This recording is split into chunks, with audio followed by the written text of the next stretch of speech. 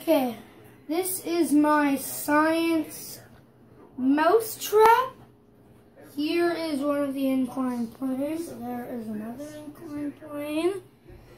There is, I put some rocks in here because this wasn't staying. There's a wedge, there's a wheel and axle. There is a lever over there, and here is the pulley. And there are also some screws. And a screw there, and uh,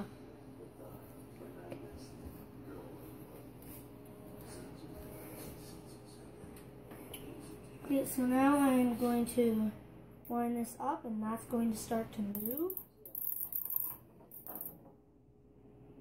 There we go.